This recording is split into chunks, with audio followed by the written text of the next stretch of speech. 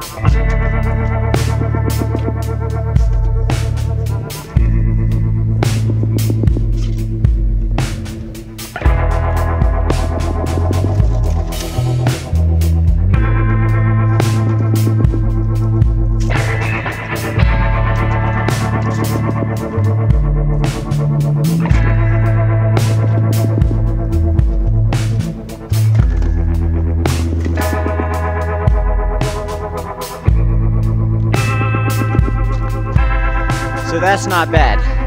$20 and I got 3, 6, 9, 10, 11, 12, 13, 14, 15, 16, 17, 18, 19, 20, 29, 30,